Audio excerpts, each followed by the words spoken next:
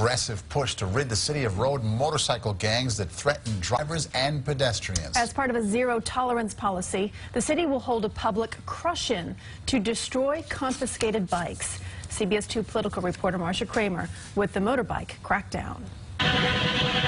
They are a menace and a danger, rogue motorcycle gangs that terrorize motorists and pedestrians with their aggressive and threatening behavior. And New York City is not going to take it anymore. individuals operating these bikes, these knuckleheads. I describe this as a big problem in the sense of the danger and risk that they present, that these clowns present in terms of their pack mentality where they have no concern for public safety at all. They're up on sidewalks, they're in and out of traffic. The folks who do this uh, think they have a right to bother everyone else. At the monthly briefing on crime statistics, officials said they've begun a new crackdown. Since the first of the year, they've confiscated 312 motorcycles, dirt bikes, and ATVs. That's twice as many as last year, and they're only just beginning. In the last two weeks, uh, we've made 65 seizures. The move follows the incident in which Alexian Lien and his wife and daughter were surrounded and terrorized on the Henry Hudson Parkway near 96th Street by a biker gang.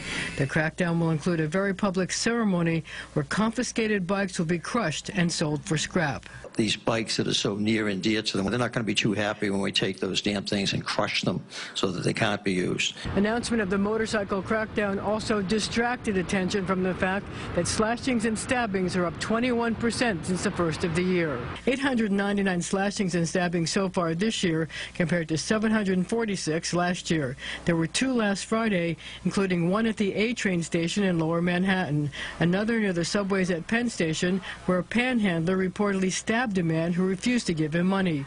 Both incidents happened at locations and times outside the parameters of the NYPD's new anti-stabbing initiative. No date has yet been set for the crushing of the motorcycles, which the mayor called a crush-in. At police headquarters, I'm Marcia Kramer, CBS 2 News. The commissioner said that about 80% of bikes confiscated are not returned. He would like to make that 100%. He is also asking for the public's help in identifying places where the bikes are stored when not on the road. Police